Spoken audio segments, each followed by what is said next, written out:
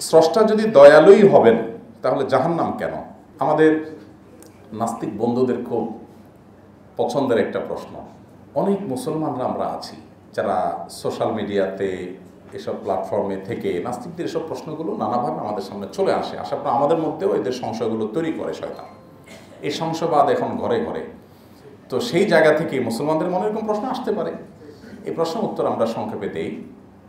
দীর্ঘ আলোচনা করা দরকার, দীর্ঘ আলোচনা করার সুযোগ নেই।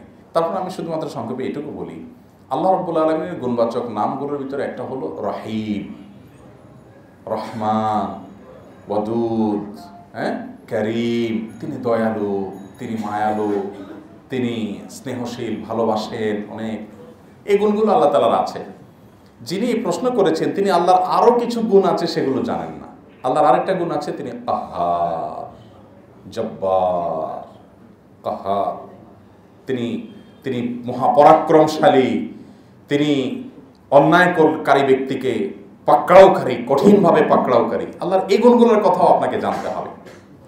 আল্লাহ রব্বুল আলমী এখন আপনি বলবেন, তাহলে উনি জাহান্নাম বানাইলে আবার দয়ালু হইল কেমনে? দয়ালু হয়েছে বিভিন্নভাবে। জাহান্নাম বানানোর পর আপনাকে ফেলাই দিছে? কি বলেন? যে বানাইলাম আর ফালাইলাম। উনি যদি ফালাইতেন তাও কিছু কারণ বলার আছে?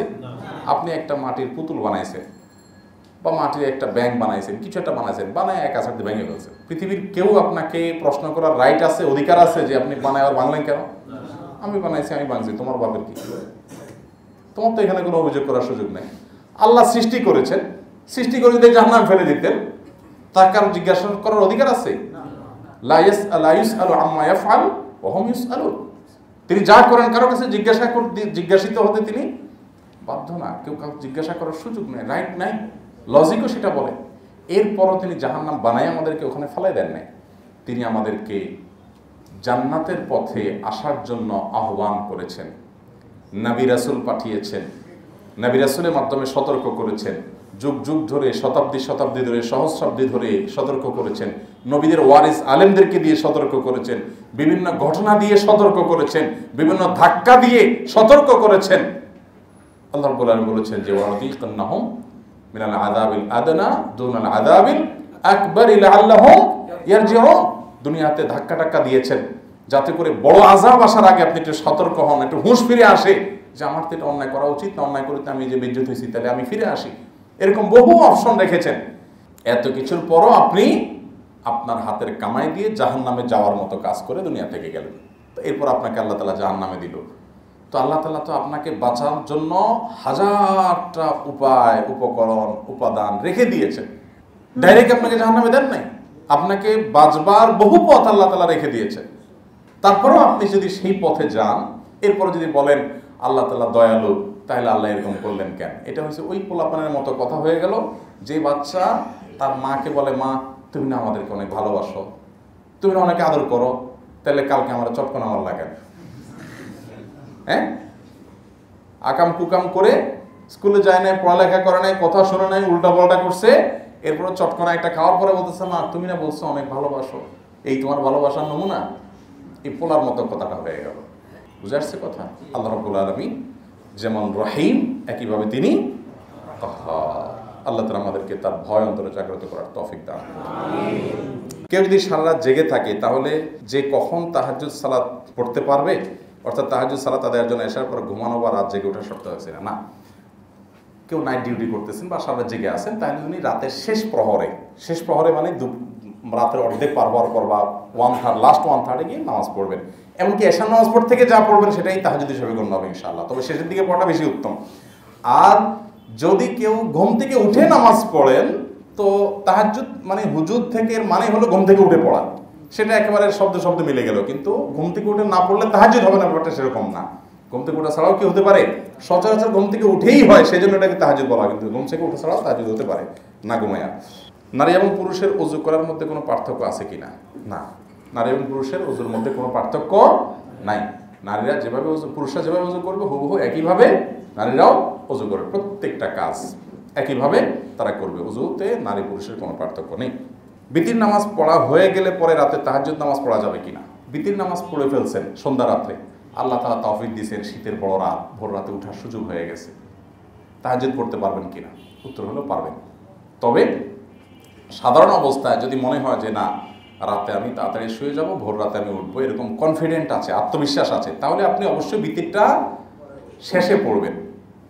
সুন্নত দুরেকাত পড়ছেন, ফরজ পড়ছেন, এশারের পরে নফল পড়ছেন, বাসায় চলে যান।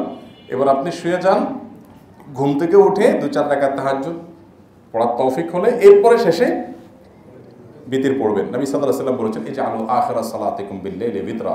তোমরা রাতের শেষ নামাজ বিতির রাখবা। এটা শুনলাম কিন্তু আগে পড়ে ফেলছেন, পরে সুযোগ হয়েছে। অবশ্যই সেটা ছাড়বেন না, সেটাও করতে পারবেন, সেটা হলো অপশনাল।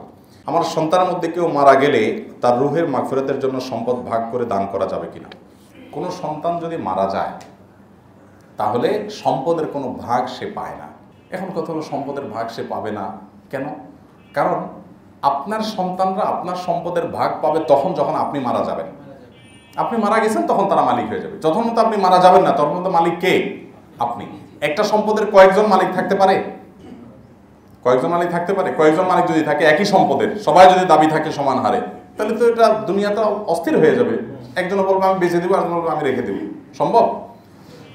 যৌথ বা শেয়ারের জিনিস ভিন্ন কথা, কিন্তু একই জিনিস সবার সমান দাবি, এটা তো হতে পারে না। তো এই জন্য আপনার সম্পদে আপনার দাবি, আপনার মালিকানা, আপনার মৃত্যু হয়ে গেছে, সন্তানরা মালিক হয়ে গেছে। কারণ আপনার মৃত্যুর আগে যদি কোনো সন্তান মারা যায়, তাহলে সে সম্পদের মালিক না। এখন আপনি তাকে ওই যে আনুপাতিক হারে অন্যদের মতো করে ভাগ করে দিবেন, এটা এটা এটা রাইট নেই। তবে আপনি তার পক্ষ থেকে দান করতে পারেন, যত খুশি দান করতে পারেন। আমার সন্তানটা মারা গেছে, তার জন্য আমি দুই চার, পাঁচ লাখ, দশ লাখ যা আছে আমি দান করে দিব। এক্ষেত্রে কোনো বিধিনিষেধ নাই। এমনকি ছেলেটা মারা গেছে, তার ঘরে নাতি নাতনিরা আছে এখন। তাদেরকে আমি দুই চার দশ বিঘা সম্পদ লিখে দিব, যা খুশি দিয়ে দিব, দিতে পারেন, কোনো অসুবিধা নেই। বরং এটা দেওয়া আপনার কর্তব্য যদি তার অসহায় হয়। কথা কি বুঝাতে পারছি? পিতা যদি ইচ্ছাকৃতভাবে এক বা একাধিক সন্তানকে তার সম্পদের নির্দিষ্ট অংশ দিয়ে দেয় এবং বাকি অংশ উত্তরাধিকার নিয়ম অনুযায়ী বন্টন করতে চায়, এমনটি করা শরীয়ত সম্মত কিনা? পিতা তার সব সন্তানদের মধ্যে সমতা বজায় রাখার চেষ্টা করতে হবে। নবী করিম সাল্লাম বলেছেন, ইত্তাকুল্লাহ ওয়াদিলু আউলাদিকুম তোমরা আল্লাহকে ভয় করো এবং সন্তানদের মধ্যে সমতা বজায় রাখো। অতএব আপনি নিছক আপনার ভালো লাগার উপর নির্ভর করে একটা সন্তানকে কিছু সম্পদ বেশি দিয়ে দিলেন, বাকিগুলো সবার মধ্যে বন্টন করলেন এটা জায়েজ নেই। দিলে সবাইকে সমান হার দিবেন। এক সাহাবি তার এক পুত্রকে কিছু সন্তান দিয়েছেন। এসে নবী সাল্লাহ কাছে শুনাইছেন। শোনার পর নবী সাল্লাহ সাল্লাম বলেছেন, তোমার বাকিদের সন্তানদেরকে দিয়েছ? উনি বলেছেন, না, দেই নেই। তখন নবী সাল্লাম এই কথা বলেছেন ওয়াদিল বাইনা আল্লাহকে ভয় করো, আর বাচ্চাদের মধ্যে, সন্তানদের মধ্যে সমতা বজায় অনেক মুরব্বী চাচারা আছেন, বাবারা আছেন গ্রামে, শহরে, সন্তানদেরকে এক চোখে দেখেন না। এবং এক্ষেত্রে নানান হেরফের করেন, এরা আল্লাহর কাছে দায়ী হবেন। অনেক সন্তান আছে, খাটতে খাটতে জীবনটা শেষ। আরেকটা আছে, বসে বসে শুধু, বিশেষ করে ওই প্রবাসীদের এগুলো হয়। প্রবাস থেকে বেচারা খাটতে খাটতে লাইফটা শেষ। আরেকটা আছে বাজারে টোটো কোম্পানির ম্যানেজারই করে, আর ওই চায়ের দোকানে ঠ্যাঙের উপরে ঠ্যাং বই খায়। বাপে শুধু টেনে টেনে ওরেই দেয় অরেই দেয় অরেই দেয়, পারলে জমা জমা দিয়ে দেয়।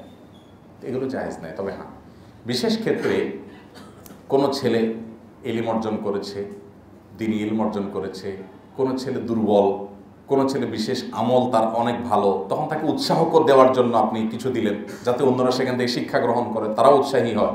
এগুলো যায় যে আমার একটা সন্তান হয়তো দুর্বল, অনেক বেশি, সেই হিসাবে আমি তাকে দুর্বলকে সহায়তার অংশ হিসাবে দিলাম, এটা জায়েজ কিন্তু এর বাইরে আপনি যদি কম বেশ করেন, নিছক নিজের ভালো লাগা, মন্দ লাগার উপরে, অথবা আপনার অনেক সময় দেখা যায় যে আমরা দু চোখে দেখি সন্তানদেরকে, সেগুলোর থেকে করলে কম বেশি করার সুযোগ নেই।